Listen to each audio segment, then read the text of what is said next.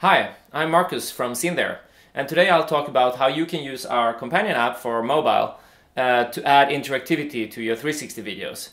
And you can use the companion app in two ways. You can either use it uh, while you're recording your 360 videos, and it will then capture the GPS data and metadata for, uh, for you, uh, or you can use it on existing 360 videos that you already have, and then you need to add them into the app. And that's what I will talk about today.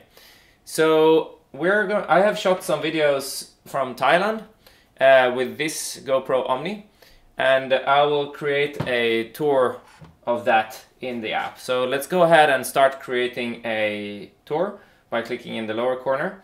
We'll call it Magic Beach.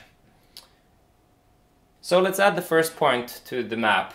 And the easiest way to add them is that you add them in the same order as the files are sorted when they're sorted alphabetically on your PC. And I normally have a uh, three digits index number in the beginning of each file so that they're always sorted uh, uh, in the chronological order when I sort them alphabetically.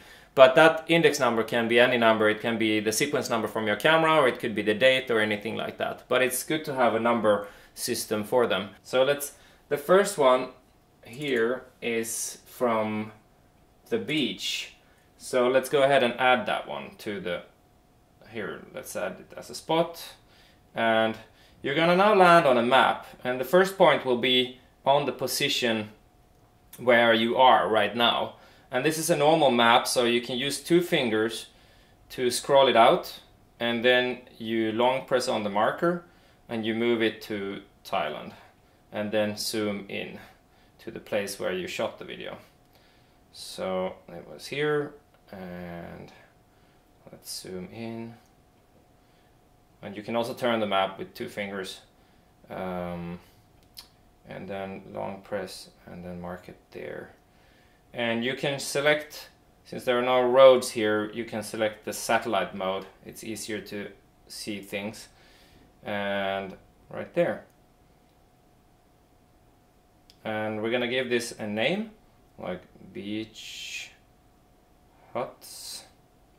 And this name of the spot will not show up in the final product so it's just for you to remember uh, when you're matching the spots with the video files. Uh, next what we're gonna do is to add the direction that the camera was looking and that might sound confusing because the 360 camera sees in all directions, right? But each camera always has a zero point, which is, uh, you can see it in the video here. Uh, it is the point in the middle of the video when you watch it in a normal video player. So right here, in this specific case, we have some huts here, and those huts are uh, uh straight opposite the direction of the sea. So on the map here, you will see that it's it's up northwest. And so we're going to go ahead and, and, um, and type that in using the slider. So we turn the slider to northwest uh, in the same direction as the video here. And sometimes it can be hard to find the compass direction, but you can make use of looking at landmarks uh, such as houses, uh, or you can look at the beach or the nature, and sometimes you can also use the sun to figure out the direction. And then you just use the slider to type it in. Okay, we go ahead and add one more point. So go back with the back key and then add one more point. And then the next point will be uh, right here which is in the middle of the beach. So we're gonna zoom in a little bit and then I'm gonna drag that point. And now you see that there's a red line connecting the two. And that red line means that there's gonna be a link between the two. So when you're watching it in VR you're gonna see a blue dot between these points. And you can turn that link on and off by clicking on the point that it's linking on. And by the way, these links are uh, do both directions. So uh, you're also gonna have uh, you're gonna have links on both directions. Okay, so let's go ahead and set that point right here in the middle of the beach, and we're gonna call it middle of beach, and then the direction of that one is going to be so this one is you have the center right here, which is by the cliffs. So let's go ahead and type that in. That should be pretty much like like east or something. And then we go back.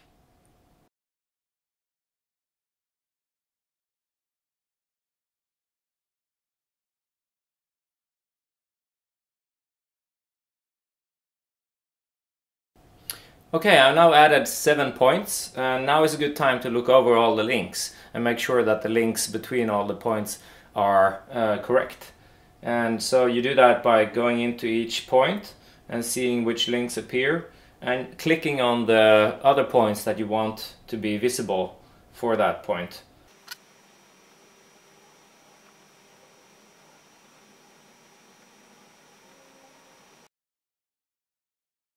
The next thing is to upload all the videos. And you do that by pressing the upload videos and then get URL. And this will generate a, a, folder on our servers where you can upload all the video files. And it doesn't matter which order you're uploading the video files, it just matters that they are in the same alphabetic order as the spots that you have uh, created on the app. And so the you can click the link in the app and you will get a uh, upload interface here on the web.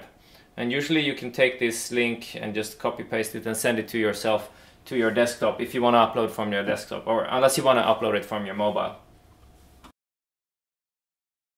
So once all the video files are uploaded to the server, you can go ahead back to the app and press refresh file list and that will fetch an, a list of all the video files that you've uploaded in alphabetic order and uh, uh, they will now be matched to the uh, points that you've created in the app. And that that that's why it's important that it's a one-to-one -one match between video files and points in the app. And if that is not correct uh, then you will see that there is it will say something like file missing. And then you can adjust that by adding a new going back and adding a new point to your app or you can add another upload another video file so you can correct it. And if the order is not correct, you can now adjust it by long pressing on the object and dragging it to the right order. Um, and you will see that the file name under the point name will be updated as you drag. So that's an easy way to adjust it.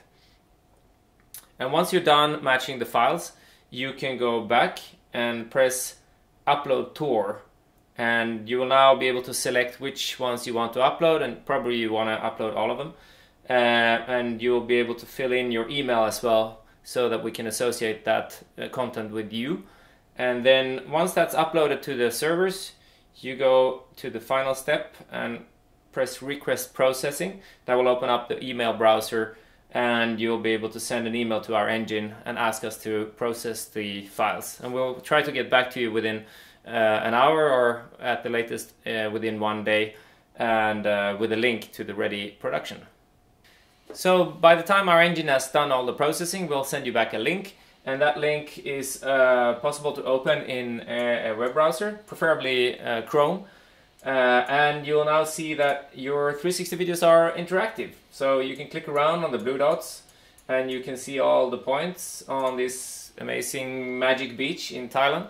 And uh, if you see that you've got something uh, wrong in the videos or you, you missed out the spot or you misplaced the direction or something, you can go back into the app and update that and then uh, request processing again and you'll get uh, back the same link with an updated uh, world.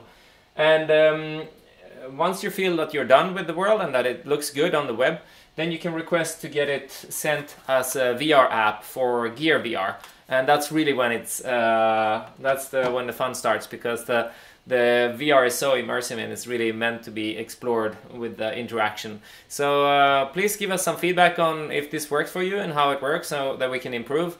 And uh, yeah, I hope you enjoy it. So let's let's virtualize things. Go out and do fun things. Thanks.